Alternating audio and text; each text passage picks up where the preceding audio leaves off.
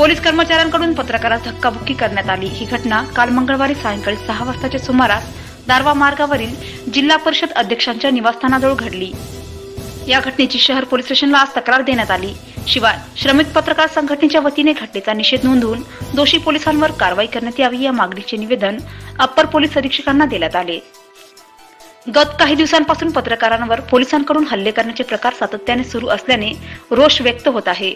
दैनिक पुण्यनगरी यवतमाळ जिल्हा कार्यालयातील उपसंपादक पवन लताड काल सात मे दोन हजार एकोणीस रोजी सायंकाळी सहा वाजताच्या सुमारास वृत्तसंकलनाच्या दृष्टीने बाहेर पडले होते. दारवा मार्गावरील जिल्हा परिषद अध्यक्षांच्या निवासस्थानाजवळ वादावादी व गोंधळ दिसल्याने ते घटनास्थळी पोहोचले. या दरम्यान वाहतूक पोलीस शिपाई भास्कर दरने यांना काही महिला व पुरुष प्रवासी शिवीगाळ करताना दिसले.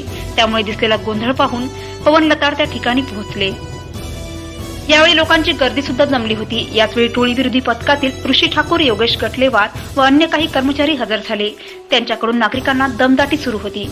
तसेच सदर प्रवाशांची समजूत काढण्याचे प्रयत्न सुरू होते. यावेळी घडत असलेल्या घटनेचे वृत्त प्रतिनिधी म्हणून छायाचित्रण पवन लताड यांनी केले. त्यावेळी ऋषी ठाकूर यांनी त्यांच्या पाठीमागून कॉलर पकडत धक्काबुक्की केली. तसेच त्यांच्याजवळील मोबाईल हिसकावून घेतला. इतकेच नव्हे तर अर्वाच्य भाषेत बोलून मोबाईलमधील फोटो डिलीट केले. यावेळी त्यांनी दैनिक पुण्यनगरी वर्तमानपत्रात काम करीत असल्याची जाणीवही संबंधित पोलिसांना करून दिली. त्यानंतरही त्यांनी लताड्यांना अश्लील शिवीगाळ चालूच ठेवली. एकूणच पोलिसांकडून सातत्याने माध्यमात काम करणाऱ्या प्रतिनिधींची दडपशाही केली जात आहे. यापूर्वी झरी तालुक्यातील सुशील ओझा वनित जी चोवीस तासचे जिल्हा प्रतिनिधी श्रीकांत राऊत यांच्यावरही पोलिसांनी हल्ला चढविला होता. पोलिसांना सर्वसामान्य नागरिकांचे संरक्षण करण्यासाठी नेमण्यात आले आहे. पोलीसच जर कायदा हातात घेऊन शांतताप्रिय नागरिक व माध्यमांच्या प्रतिनिधींशी गैरवर्तन करत असतील तर हा लोकशाहीला मोठा धोका आहे. शहरात मोटर वाहन कायद्याचे सर्रास उल्लंघन होत असून काही पोलीस कर्मचाऱ्यांचीच वाहने रस्त्यावर अवैध प्रवाशी वाहतूक करीत असल्याचे स्पष्ट होत आहे.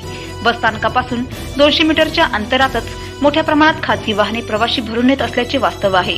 यामुळे भविष्यात भीषण घटना घडण्याची शक्यता नाकारता येत नाही. असे असतानाही वर्तमानपत्रात काम करणारे पवन लताड यांना धक्काबुक्की करून पोलिसांनी जबरीने मोबाईल हिसकावून घेत फोटो डिलीट केले. एकूणच घटनेतील कलम एकोणीस दोन नुसार अभिव्यक्ती स्वातंत्र्याचा नागरिक व माध्यम प्रतिनिधींना दिलेल्या हक्काची पायमल्ली पोलिसांनी केल्याचे स्पष्ट होत आहे. या कारणामुळे संबंधित पोलीस कर्मचारी भास्कर दरने ऋषी ठाकूर योगेश गटलेवारसह उपस्थित कर्मचाऱ्यांवर सेवाशिस्त वर्तवणूक कायद्यासह धक्काबुक्की करणे अश्लील शिविगाळ करणे मोबाईल हिसकावणे अपमानास्पद वागणूक देणे अशा गुन्ह्याच्या पार्श्वभूमीवर कायदेशीर कारवाई करण्यात यावी अशी मागणी पत्रकार संघटनेच्या वतीने करण्यात आली. यावेळी अप्पर पोलीस अधीक्षक अमरसिंह जाधव यांनी दोषींवर चौकशी करून कारवाई करण्याचे आश्वासन दिले.